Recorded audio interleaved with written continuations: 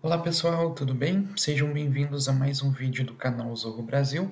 E hoje, seguindo nossa série sobre o Zorro CRM, eu vou estar mostrando para você que tem uma lista de leads ou de clientes potenciais, de contatos armazenadas em planilhas de Excel com todas as informações, como número de telefone, e-mail, enfim.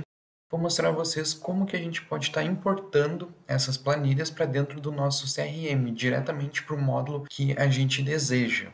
Uh, então, como exemplo, nós vamos fazer a importação de uma planilha em Excel e onde nessa planilha tem informações de clientes potenciais. Então, como que a gente consegue fazer isso? Primeiro, vou abrir aqui o módulo de clientes potenciais. Aqui no botão de criar cliente potencial, eu vou clicar mais à direita, na seta para baixo, e vou escolher a opção importar clientes potenciais.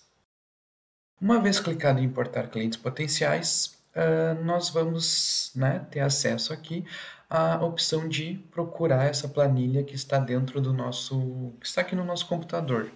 Então eu vou procurar ela e vou selecionar. Então lembrando que a planilha ela tem que estar tá nesse tipo de arquivo aqui, né, XLS, XL, XS, CSV, enfim, e podemos importar até 5 mil registros por meio de um arquivo desse tipo. Então vou selecionar minha planilha aqui, Beleza? Vamos abrir. Muito bem, minha planilha foi carregada. E algo que gera muitas dúvidas é qual deve ser a formatação dessa planilha. Então, deixa eu mostrar para vocês. Uh, aqui é um exemplo só dos contatos dos clientes potenciais que a gente vai importar. E essa planilha ela deve ter uma, informa uma formatação bem simples, assim como ela está aqui, uh, com uma coluna, né? Com o dado, com o campo que essas informações vão ser inseridas no CRM e embaixo né, as informações. Lembrando que para a gente fazer a importação para o Zorro CRM, nós devemos ter como obrigatoriedade na nossa planilha o campo sobrenome, pois ele é um campo obrigatório dentro dos módulos do, do, CRM. Então, para nossos contatos, nossos leads serem importados com sucesso, devemos ter aqui o campo sobrenome certo? Então, esse é um exemplo de modelo aqui que a planilha deve ter para ela ser importada com sucesso. Vamos voltar lá para o nosso CRM. Então, voltando aqui para o nosso CRM, vamos dar aqui um próximo. Beleza, quando a gente for importar a planilha, nós temos algumas opções. Nós podemos adicionar novos clientes potenciais, podemos atualizar clientes potenciais que já existem, ou então podemos né, fazer ambas as opções. Aqui eu vou adicionar como um novo cliente potencial. Eu vou clicar em próximo. E depois, quando eu clico em próximo, a gente precisa mapear os campos, ou seja, fazer a correspondência dos campos que a gente tem no nosso arquivo de Excel com os campos que a gente tem no Zorro CRM.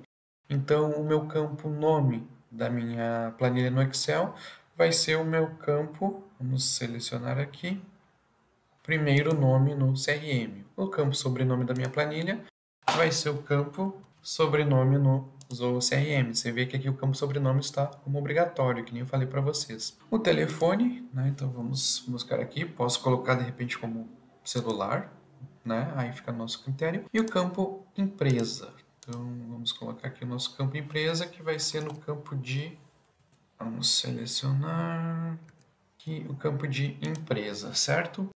Uh, aqui eu já fiz o mapeamento dos nossos campos, então com isso eu posso dar seguimento à importação. Vamos clicar em próximo.